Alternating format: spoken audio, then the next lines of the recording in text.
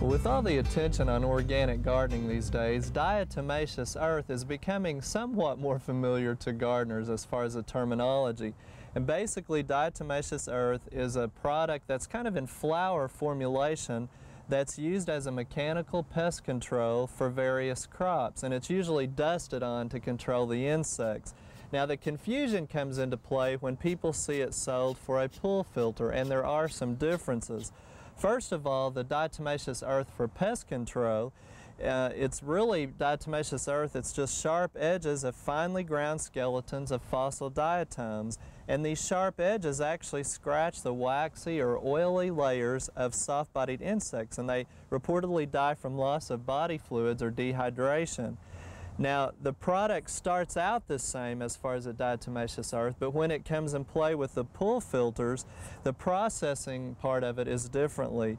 It's actually heated at a higher temperature to change the structure to make it more of a filtering material and more glassy in formulation. Therefore, it doesn't really work that well in affecting insects or absorbing the body moisture or oils.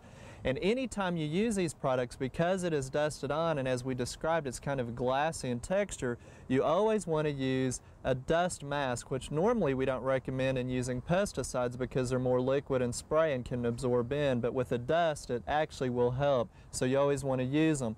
Also, you want to make sure you read the label when using diatomaceous earth for pest control in the garden or landscape.